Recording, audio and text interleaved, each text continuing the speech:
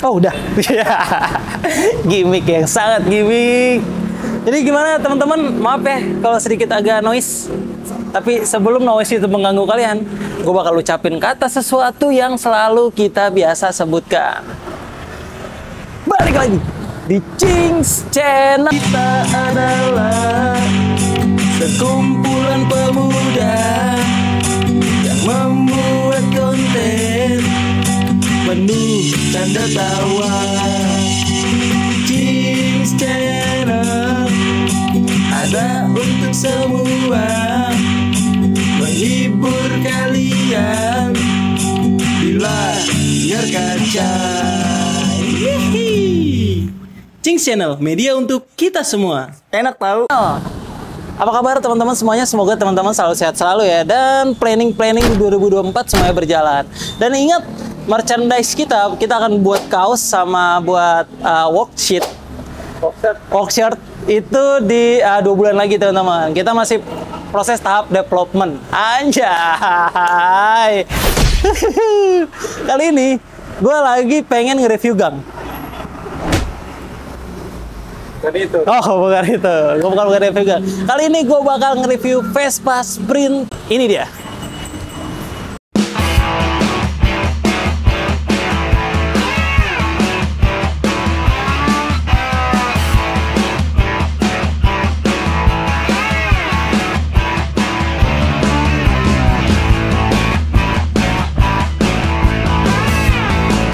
Nah, Vespa ini adalah Vespa dari uh, Kirana Scoot. Karena kita lagi main di bengkel buat ngecek Vespa gua. Bukan Vespa gue ini ya. Tapi kayaknya Vespa gua bakal gue bikin semi-semi konsepnya hampir sama lah. Yoi. Jadi kita bakal review nih bagian kepalanya. Nah, bagian kepalanya ini adalah sprint bagol, teman-teman. Tapi uh, sebenarnya gue nggak tahu sih ini sprint bagol ori atau kagak ya. Aku lupa. Tadi gue lupa nanya ya teman-teman. Gue nggak salah aja nyebutnya. Karena kita uh, cuma diizinin review aja. Namanya ini motor bengkel ya. Kita nggak tahu speknya apa kan nggak mungkin orang bengkel mas ini sprint saya ini tahun segini tahun segini kan nggak mungkin. Jadi yang punyanya juga lagi di rumah lagi sibuk. Jadi ya udahlah kita review aja kita mau izin. Nah untuk bagian kepalanya ini sama seperti sprint bago lainnya ya teman-teman ya. Ini uh, untuk headlampnya dia masih memakai Elma bukan Oriane teman-teman ya. Nah terus gioknya ini uh, gue nggak tahu ini salah atau bener tapi prediksi gue ini giok gue gioknya hampir sama punya gue itu lokalan nih. Ini kayak Bandung-Bandungan nih giok-giok Bandung. Nah terus dia ya sama speedometer ini dia pakai Vegelia ini kalau di uh, marketplace ini seharga 200.000 sampai 300 ribuan teman-teman. Terus ini ya, ini apa handle-nya? Handle-nya dia pakai mirip-mirip kopian SIP. Nah, fungsi ini teman-teman, ini tuh kalau misalnya uh, lu kurang tarik nih, motor lu kurang tarik koplingnya atau remnya kurang tarik, nah ini tinggal lu putar aja. Nanti jadinya uh, ketarik otomatis. Itu fungsinya. Nah, terus dia pernah pakai gas spontan ya, ditutup kayak gini, rapi juga nih, mantep. Apa Vespa gua ditutup? Buat ginian ya? Tapi enggak, aku pengen pakai tetap pakai gas spontan, biar uhui. Ah, kalau tadi L bahas palanya, sekarang giliran gua yang membahas bagian tengah bodinya. Langsung kita turun ke bawah. Jadi seperti Vespa Sprint pada umumnya ya, ini ya udah begini apalagi tapi ya paling uh, ya, gue nggak tahu nih ya uh, kalau Vespa gue notice itu sebenarnya di emblemnya. Karena ini kan dia emblemnya pasti pakai yang kayak mirip-mirip PX sama Excel ya. Nah ini gue nggak tahu nih apakah emang dia aslinya begini atau enggak. Setahu gue sih dia masih yang miring tuh tulisannya tuh iya kan? Yang depannya. Kan nggak tahu ya mungkin yang punyanya juga lebih suka yang kayak gini. Ya itu mah selera sih nggak masalah juga sebenarnya Terus ya biasa ada logo Piaggio, terus ada klaksonnya juga. Nah, ini klaksonnya. Nah, klaksonnya ini, ini ori nih dia. Karena ada bacaan Milano nih. Tuh. Italia asli nih, Bro. Keren. Jadi kalau lu mau mencet klaksonnya harus gini dulu. orang Italia kan gini orang Italia. Ya, jadi ini langsungnya asli, tapi gue nih nggak tahu nih. Kalau yang tahu coba komen ya di bawah nanti biar kita diskusi juga karena gue kalau Vespa tua tuh agak kurang ini pengetahuan gue minim lah. Jadi cuman tahu-tahu di permukaannya aja. Siapa tahu ada yang tahu lebih dalam, silakan komen di kolom komentar. Nah, mungkin sekilas mirip sama Vespa L, tapi L tadi udah ngomong kalau ini bukan Vespanya dia. Tadi gue juga mikirin Vespa dia, ternyata bukan. Nah, yang ngebedain nama Vespa L juga dia listnya ini pakai list botol. Nah, ini namanya list botol nih. Dia nggak pakai karet, tapi pakainya tuh kayak besi apa aluminium ya? Kayaknya aluminium deh ini. Tuh, sini tuh.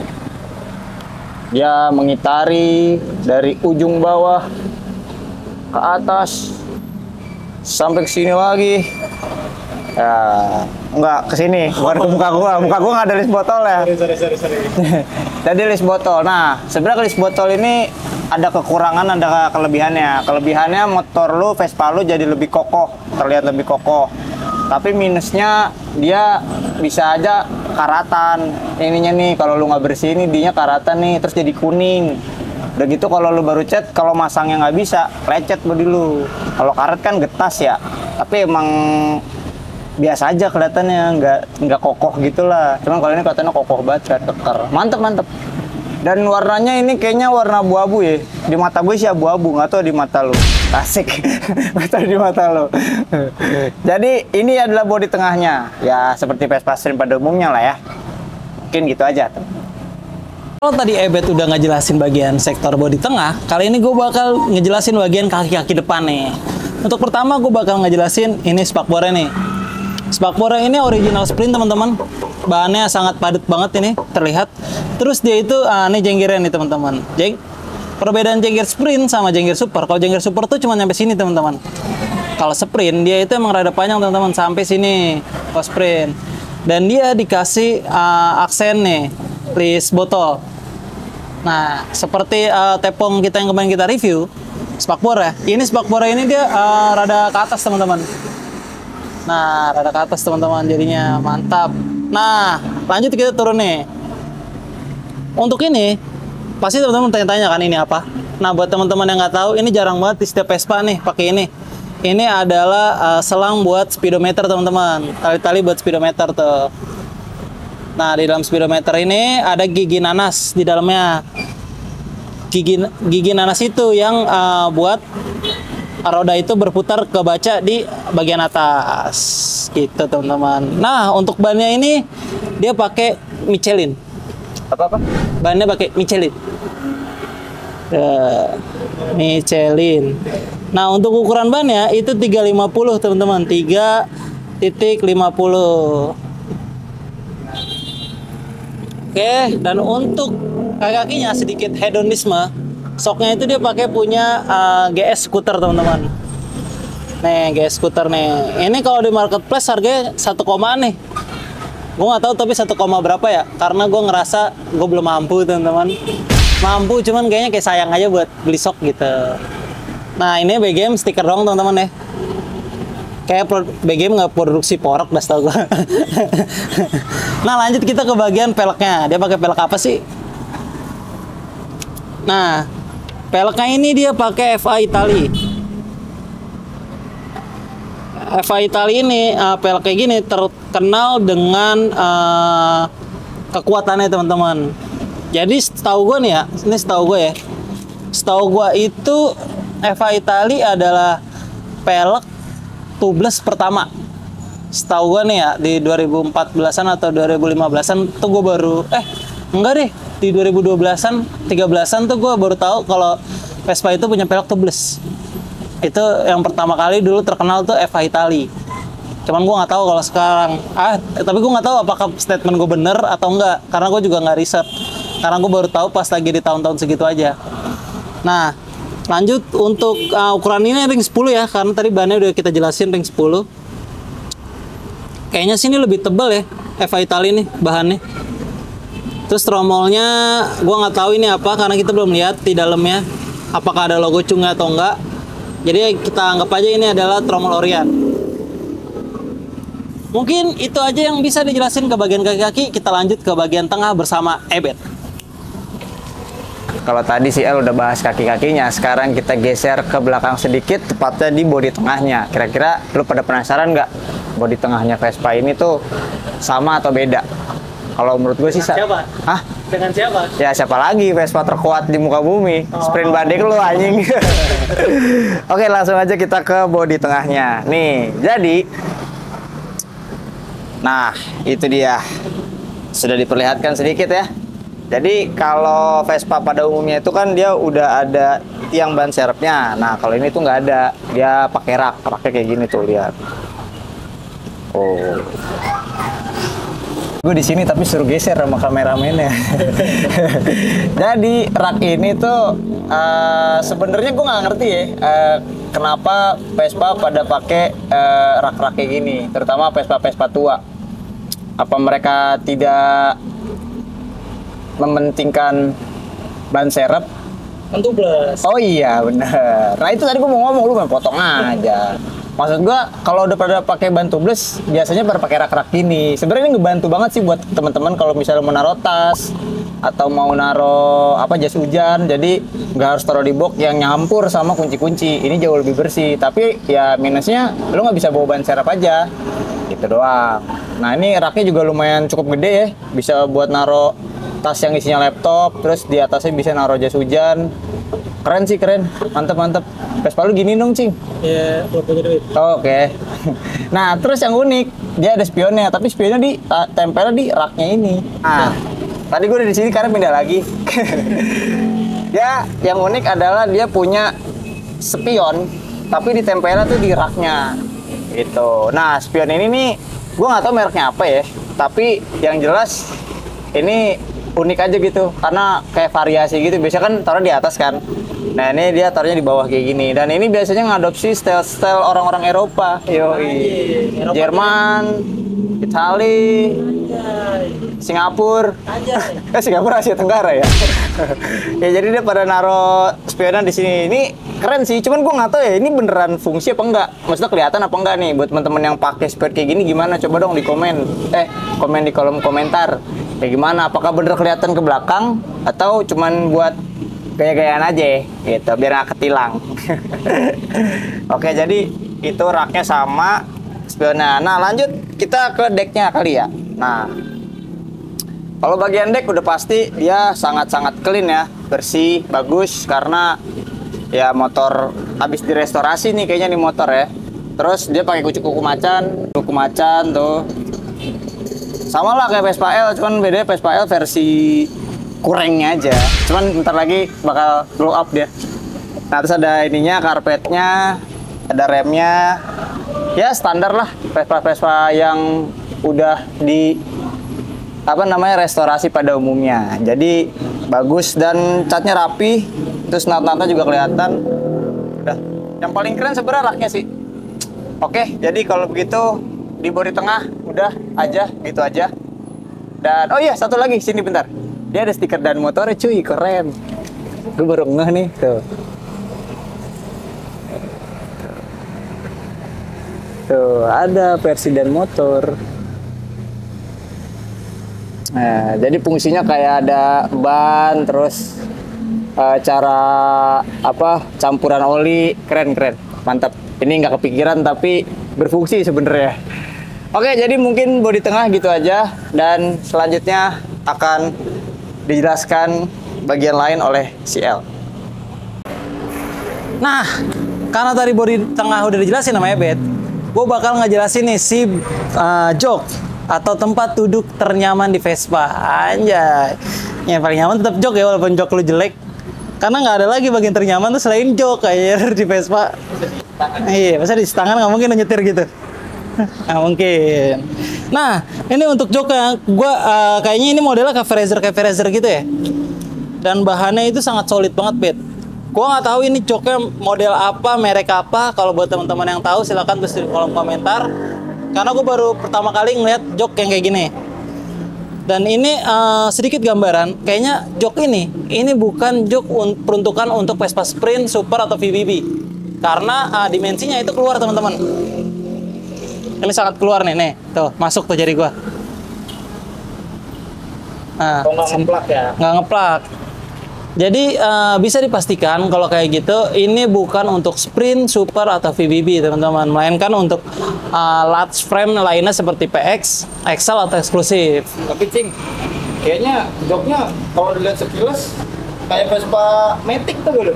Iya ya, iya kayak jok Vespa Matic. Matic, Matic LS, Ah, eh, S, S Vespa S. dan ini eh, terlihat teman-teman dari bahannya nih, teksturnya dari jahitannya. Ini harganya lumayan mahal nih, Bet. Kelihatan banget berasa bedanya. Ya, barang mewah lah. Nah, kita lihat aja bagian dalamnya. Ini kuncian nih teman-teman nih. Cuman ya seperti biasa, Vespa kadang kunciannya tempelan doang. Kita masih bisa buka, diginiin. Gua nggak tahu tapi aktif apa enggak ya. Nah, dalamnya itu kan bener untuk Excel. Ini rangka-rangka Excel teman-teman nih. Tulangan-tulangan Excel. Tulang-tulangan Excel tuh kayak gini, teman-teman. Jadi ini eh, bisa dipastikan ini bukan buat Vespa Sprint. Tapi kalau teman-teman suka, boleh nih. Ini menjadi salah satu referensi ke teman-teman eh, cara eh cara memilih jok yang bagus buat motor teman-teman. Nah, lanjut kita ke bagian tepong. Lanjut kita ke bagian sprint. Tepong sprint. Nah, tepong ini ini udah pasti banget Orion ya teman-temannya beda sama tepong gua nih suaranya nih. Tuh, suaranya ini benar-benar Orion, bahannya juga tuh benar-benar apa? cetakan. Dan ya sprint teman-teman, ini tetap hitungannya tuh 6. Tuh 2 3 4 5 6. Nah, ini 6 teman-teman. Terus sama list botol dipaduin biar sama sama list botol yang di spakbor. Jadinya biar eh, dimensi klasiknya itu dapat. Wah, ada ambulan. Semoga yang di ambulan baik-baik aja teman-teman. Eh cing, bentar cing. Apa? Kemarin ada yang nanya tuh. Apa? Ada, ada yang komen. Ah, Katanya eh, tepung lu kan lo- lokalan ya. ya. Terus it- eh, siripnya nonjol-nonjol. Coba lu balik lagi deh. Terlalu nonjol. Yang ini menurut teman-teman gimana tuh? Di, Ya. Kalau dilihat sama apa nggak punya El? Menurut teman-teman ini sama nggak eh, sama punya gue yang kemarin? Iya. Kan kemarin katanya ada yang komen katanya nonjol-nonjol. Ah, terlalu Nah, nonjol katanya. Terlalu nonjol. Nah, nih. Bagaimana menurut teman-teman? Apakah sama aja? Apakah sama aja? Lanjut kita ke bagian ekor kali ya. Sama tepung kiri itu biar Mas Ebet aja yang lanjutin. Bye-bye. Yo, kalau tadi tepung kanan udah, sekarang tepung kiri. Maksud gua kenapa sih El nggak dua-duanya gitu ya? Kenapa harus menyisahkan gue tepung kiri? Mana bagian kiri doang lagi? Tapi nggak apa-apa lah. Ayo kita review. Ah, kenapa pas bagian gue selalu jongkok deh? Jadi tepung kiri pada umumnya sama aja. Siripnya ada 4 kalau di sebelah kiri. Terus dia juga ada list botolnya, kelihatan kan di kamera. List botol ini salah satu yang membedakan sprint ini sama super. Kalau super biasanya list botolnya sampai belakang. Kadang ada juga yang nggak pakai list botol. Tapi kalau sprint tuh rata-rata Oriane memang pakai list botol. Setahu gua. Tapi kalau misalnya salah, ya direvisi aja. Tinggal komen aja di kolom komentar. Gitu. Terus bagian dalamnya sini dah. Oh, dia pakai kiprok ternyata. Gue baru tahu. Tuh. Ini dia pakai kiprok nih. Nah, kiprok ini untuk menstabilkan arus. Jadi lampunya tuh nggak langsung nempel ke mesin. Jadi kalau misalnya mesin lu pelan kan biasanya lampu pada redup tuh. Iya. Kalau nggak pakai kiprok, kalau pakai kiprok dia tetap terang terus terus terang. Iya. Ya udah, jadi boxnya kayak gitu. Nah, di bagian belakang ini yang menurut gua paling keren. Jadi belakangnya ini dia ada emblem sprintnya 150 sprint V dan lampu belakangnya itu pakai tipenya tuh kalau anak-anak Vespa bilang itu Bosata. Dia kecil dan terlihat sangat racing ya. Kan kalau sprint biasanya gede tuh. Nah ini kecil nih. Minimalis tapi fungsional. Anjing keren. Jadi dia sangat keren nih. Mantep mantep. Gue nggak tahu sih ini harganya berapa ya. kayaknya gopean sejutaan kali ada ya? 2 juta lebih kali ya? Soalnya 500 300 ribuan. Bosata sampai 400. 300 sampai 400 ya segituan lah. Gitu. Tapi gue nggak tahu nih ori apa enggak ya. Tapi modelnya Bosata punya. Gitu. Lanjut kita ke bagian bawahnya. Nah di bagian bawahnya dia tuh pakai ban yang sama dengan yang depan.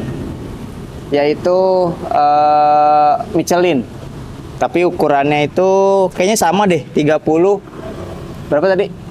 3 350. 350 ring 10 gitu. Dan si peleknya juga pakai FA Itali ntar ya betul pakai FA Itali dan sama aja berarti ya spek eh, apa namanya si ban kaki-kakinya tuh sama depan belakang sama. Cuman bedanya kalau yang belakang tuh tulisan Michelin ini warna putih udah gitu aja. Yang depan warna hitam nggak ada nggak ada warna putihnya. Tapi dia yang kerennya lagi adalah soknya. Sok belakangnya ternyata pakai GS scooter bro. Tuh sama juga kayak yang depan. Mantep nih. Terus ada ginian apa ini apa ya namanya? Lupa deh gue. Aku iya maksudnya tabungnya buat apa sih? Buat nyeting ya? Iya, iya. nyeti nyeting.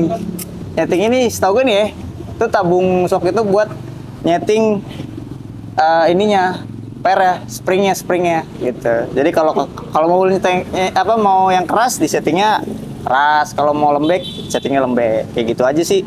Dan kalau untuk kaki-kaki ini proper banget sih. Keren banget sih ini motor sebenarnya.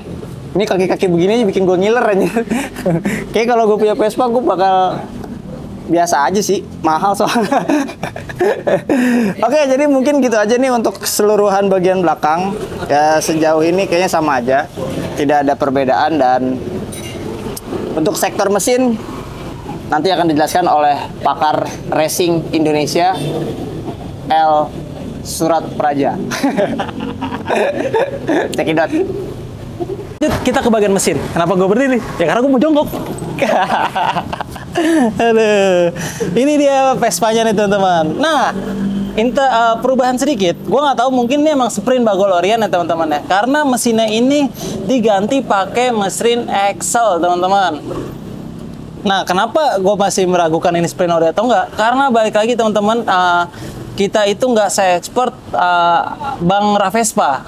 Kalau Ravespa itu dia ngelihat aja udah tahu. Kalau kalau kita kan masih belajar ya teman-teman ya. Kalau teman-teman eh, ingin ngasih tahu detailnya kayak gini, cing. Kalau langsung lihat nih kalau itu sprint bagel ori atau bukan, kayak gimana? Nah, lu boleh tulis di kolom komentar aja teman-teman. Kita sharing-sharing ilmu lah. Karena nggak selamanya ilmu dari gue itu lebih banyak. Nggak selamanya juga yang Ebet katakan itu jauh lebih banyak dari ilmu kalian. Jadinya kita berbagi aja teman-teman. Karena orang yang bermanfaat adalah orang yang berbagi ilmu teman-teman. Keras nggak tuh? Nah ini mesinnya itu mesin Excel teman-teman. Dia itu pakai magnet US paten, tetap ya USA paten. Karena ini balik lagi mesin Excel. Untuk uh, di bagian bloknya, gue nggak tahu, uh, belum dijelasin karena uh, gue belum sempat nanya bloknya bagian apa. Cuman harusnya racing karena terlihat dari knalpotnya. Knalpotnya udah pakai big box teman-teman ya. Nah, otomatis kalau knalpot dari big box berarti high kompresi atau high performance. Anjay. Nah, lanjut ke bagian sektor karbu. Karbunya ini PWK 28 teman-teman nih. Set. PWK 28 terus eh, lanjut ya ini sama lah ya ke spontan nih PWK 28 terus ada filter bensin nih unik banget filter bensinnya ini kalau murah aku pengen beli nih kalau mahal enggak nah karbunya ini dia pakai kehin bed nih blok di sini ada Wah, ini dalam. Oh iya tuh. Nanti sih sedikit.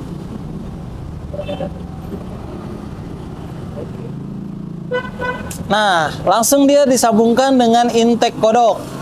Yang pasti di dalam intake kodok ini terdapat membran RXZ. Karena intake kodok rata-rata pasti pakai RXZ. Nah, ini customan nih teman-teman nih. Ini customan sebenarnya harusnya untuk pakai tabung RIS. Cuman nggak tahu kenapa ini malah disumpel. Padahal dia udah custom, tapi kenapa disumpel?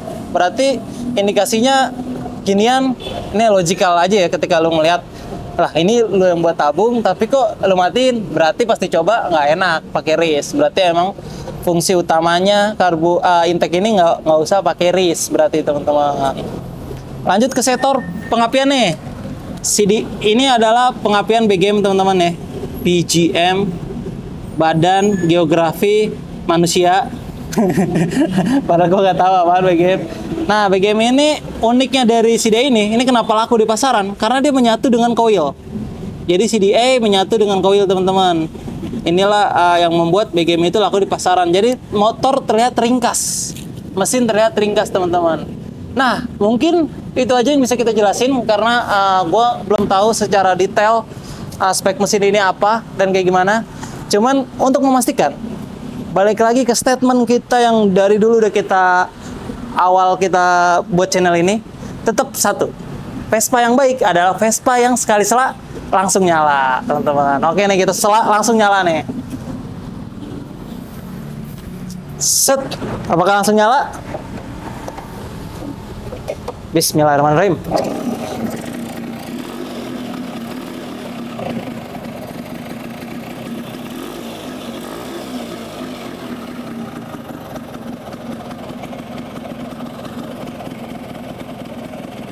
Rekam.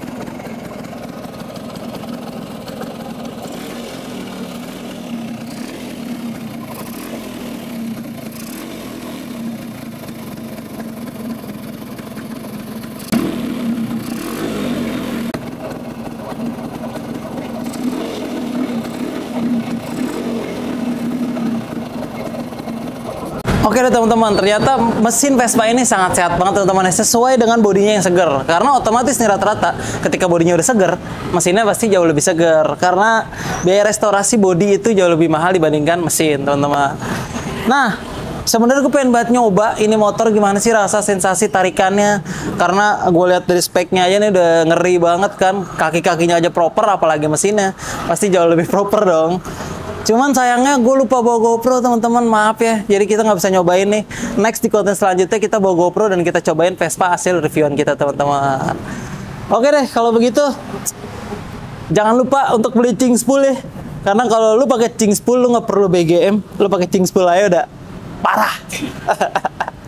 Sekian konten uh, review Vespa Sprint Bagol kali ini. Kalau misalnya teman-teman suka dengan konten ini, jangan lupa di like, jangan lupa di komen karena gue bakal ingetin ke teman-teman kalau adminnya sangat apa bit. Dia sekarang jual ikan cupang.